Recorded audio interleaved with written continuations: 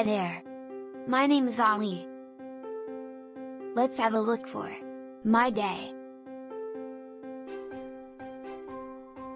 Daddy, why my shirt becomes wet and sticky? E. This is because our excretory organ which is skin will excrete sweat as waste products. Sweating help us to control body temperature.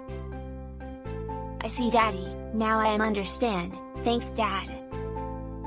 Daddy, I realize that the vapor that I exhales from my mouth is warm and wet, why it is like that happened. Ali, our excretory organ which is lung will release carbon dioxide and water vapor as waste products continuously. That is why you will feel it warm and wet. Oh yeah that is cool. I am understand now daddy. Thank you daddy.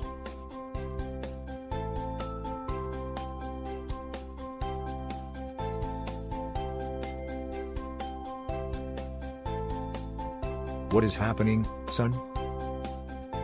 Daddy, I find out it is hard to urine and defecate. It has been disturbing me for a while. Don't worry Ali, I will bring you to the hospital to take a look. It will be alright. Hello, how can I help you?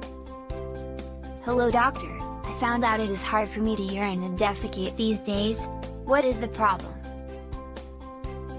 Normally, if a person has difficulty to urine, there may be a possibility of having kidney stones and also lack of consuming vegetables that cause constipation. I will check for you further and determine your problems.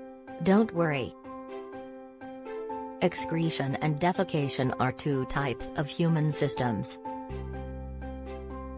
The removal of waste products from the body is called excretion. While defecation is the removal of feces through the anus. The human body will produce different waste products such as urine, sweat, feces, carbon dioxide and water vapor. Excretion happen in excretory organs. For example, skin excrete sweat, kidney excrete urine, lung release carbon dioxide and water vapor. Undigested food during the digestion process becomes feces. The removal of feces through the anus is called defecation. The waste product must remove from the body to avoid disease. Hence, we should practice a healthy lifestyle.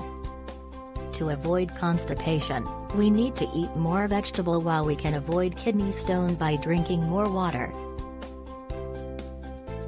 Thank you so much doctor. Goodbye.